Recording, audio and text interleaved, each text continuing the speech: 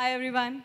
So, Sweetie, I know her since uh, for the film Super, appudu, we used to work out together in Helios.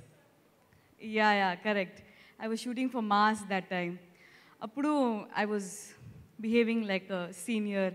Oh, a newcomer. Okay, okay, come, come, come. I'll show you the gym around types. And then we became very good friends. And since then, till now, it's never looking back. She's Amma. She is Amma. She has all the best qualities in her. You can never even think of becoming like her. She has so much patience, so much balance.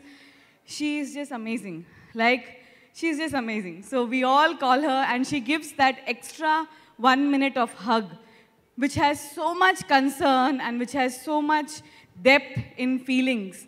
Like, she's really amazing. So uh, it's very nice. 15 years, it's not a joke. Nowadays, people are vanishing in 15 minutes, especially girls. And uh, you've been doing amazing roles for 15 years. And uh, um, each and every film has been fantastic. And now Nishabdam, Mona, we saw Nishabdam and you have just killed it. Like, we, we really thought that you are really, you really are dumb and deaf, you know. It's very nice and the film has come out very nice. Hemant is a very, very good friend of ours.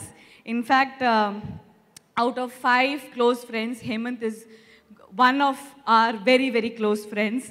And um, wholeheartedly, I have never prayed for anyone's film except my film, trust me.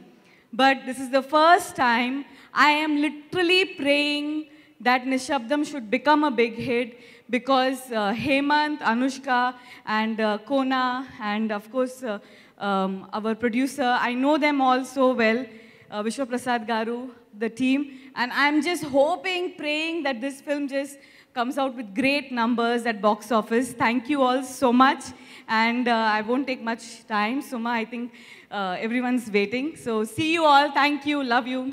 Bye bye. Thank you so much, Charmi, and we love you too.